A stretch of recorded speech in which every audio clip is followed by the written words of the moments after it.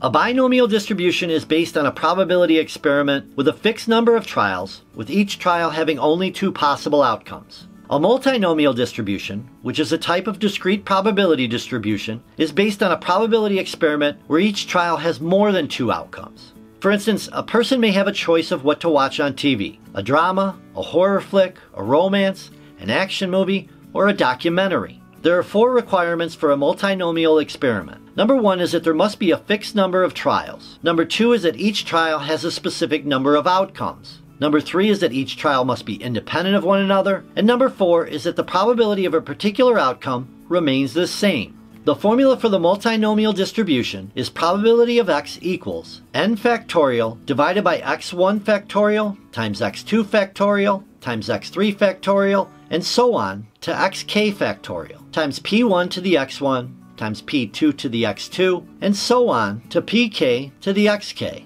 And x1 plus x2 plus x3 and so on to xk equals n and P1 plus P2 plus P3 and so on to PK equals 1. Okay, so a lot to unpack here, but it's actually easier than you may think. In this formula, probability of x consists of several events, E1, E2, E3, and so on. And the x's represent the number of times each of the different events occur. So x1 represents the number of times event 1 or E1 will occur. And the p's represent the probabilities of each of those events and n is equal to the total number of occurrences of those events. So if we had three events, E1, E2, and E3, and event 1 occurred three times, event 2 occurred four times, and event 3 occurred once, x1 equals 3, x2 would equal 4, and x3 would equal 1. And n would be the total number of occurrences of those events, 3 plus 4 plus 1, which equals 8. And this is the number of trials.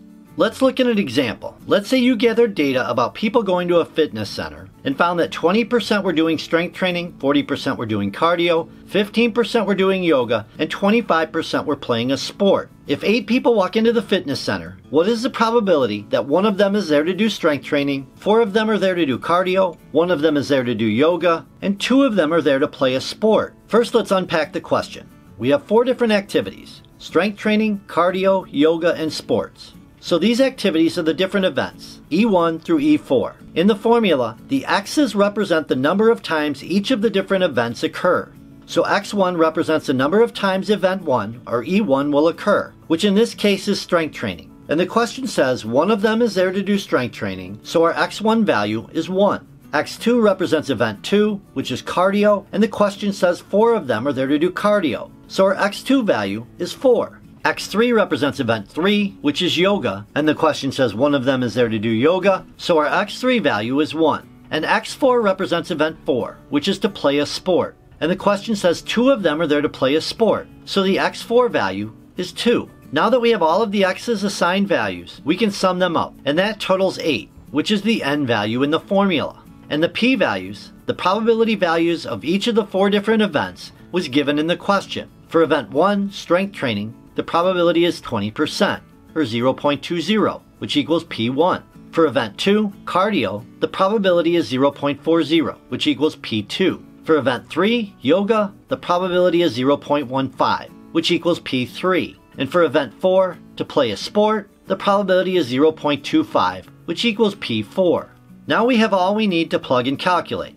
So the probability of x or the probability that one person is there for strength training, four people are there for cardio, one person is there for yoga, and two people are there to play a sport equals 8 factorial divided by 1 factorial times 4 factorial times 1 factorial times 2 factorial times 0.20 raised to the 1 times 0.40 raised to the 4 times 0.15 raised to the 1 times 0.25 squared. Now we can calculate out, which I've done on the screen, and we get a probability of 0.040, or 4%.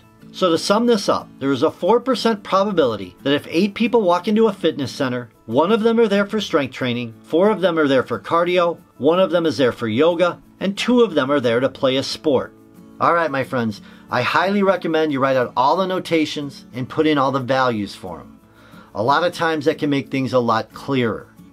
Hopefully you got something out of this video. I do have more videos right there for you. Till next time, I am out of here.